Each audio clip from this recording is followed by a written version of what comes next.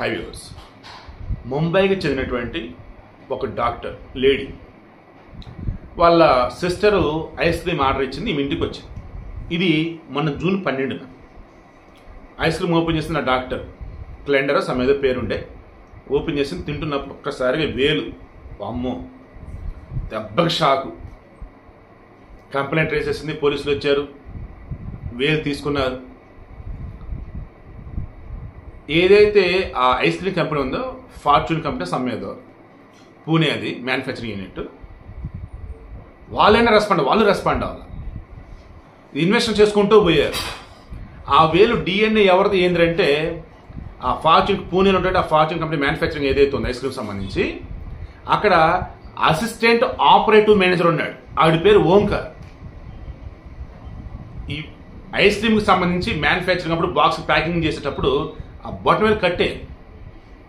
అది అందులో వెళ్ళిపోయింది. మరి కంప్లైంట్ రేస్ చేయాలి కదా చేయలే. మరి ఏ బాక్స్ ఏంటి అనుకున్నాడు మరి ఏమనుకున్నాడు ఏంతో లేదా ఎవరికైనా వెళ్ళిపోతే ఊర్లో చూసి బయట పడేస్తారు అనుకున్నాడు? సైలెంట్గా ఉన్నాడు. కంపెనీలకు చెప్పే ఉంటాడు. వాళ్ళు ఎందుకన్నా పట్టించుకోకుండా ఉండొచ్చు? లేదా ఇతను చెప్పండి అసలు ఎలా ఉంటాడు? ఇన్సూరెన్స్ కానీ లేదన్నప్పుడు అతనికి సెటిల్మెంట్ అని కానీ సంథింగ్ ఏమిటి ఉంటాయి కదా. మొత్తానికి కంపెనీ వాళ్ళే దాచారు. ఇది జరిగింది ఎప్పుడు? మే పదకొండవ తారీఖున.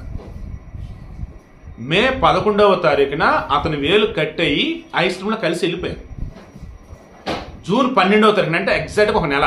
జూన్ పన్నెండవ తారీఖున ముంబైలో ఎవరైతే ఆర్డర్ ఇచ్చారో వాళ్ళకి ఇంటికి వచ్చింది. అది వచ్చేసి బటర్ స్కాచ్ ఐస్ క్రీమ్.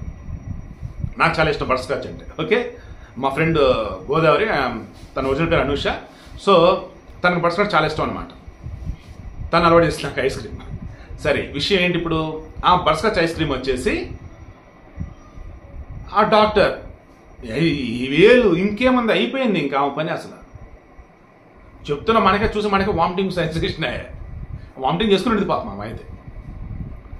దాని కంప్లైంట్ రైస్ చేసి చివరికి తేలింది ఏంటంటే పూణేలో ice cream company manufacturing unit ఎక్కడైతే ఉందో అక్కడ అసిస్టెంట్ ఆపరేటివ్ మేనేజర్ ఎవరైతే ఉన్నారో ఓంకర్. వాడి వేలు నెక్స్ట్ టైం మీరు కూడా ఎక్కడైనా ఏదైనా చూస్తే చీ ఏందని పడేయకండి. ఫోటోలు వీడియోలు తీసి సోషల్ మీడియాలో పెట్టి పోలీస్ కంప్లైంట్ ఇచ్చి తాట తీసి అవతల పడేయండి. ఫస్ట్ ఇమీడియట్గా ఏం చేశారు? కంపెనీ మీద కేసు ఫైల్ చేశారు. ఎఫ్ఐఆర్ ఫైల్ అయింది. దేశం అంతా గగ్గోలు కదండి. ఐస్ క్రీమ్లో వేలేంటారా ఐస్ క్రీమ్లో వేలేంటారా బాబు అని. వాడిని చంపారా? లేకపోతే అసలు ఎలా ఏంది అని కదా? వాడిని చంపల? ఆ ఎదవ అనకూడదు కానీ పాపం కట్టేయింది వాడు కనీసం చెప్పనని చెప్పాలి. ఒకవేళ చెప్పుంటే కంపెనీ వాళ్ళన్నా మేనేజ్ చేయాల్సింది అవి చేయాలి. హ్యాపీగా ప్యాక్ చేసి వదల పెట్టేశారు. ఇప్పుడు అతని మీద కేసు ఫైల్ అయిద్దా? కంపెనీ మీద కేసు ఫైల్ అయిద్దా? అతను చెప్పిన సరే కంపెనీ వాళ్ళు చర్యలు తీసుకోలేదా? విచారణలో తేలాల్సి ఉంది. సో క్లారిటీ ఏంటి? పూణేలో ఈ ice cream company manufacturing unit ఎక్కడైతే ఉందో అక్కడ అసిస్టెంట్ ఆపరేటివ్ మేనేజర్ యొక్క వేలే అది అతని పేరు ఓంకార్.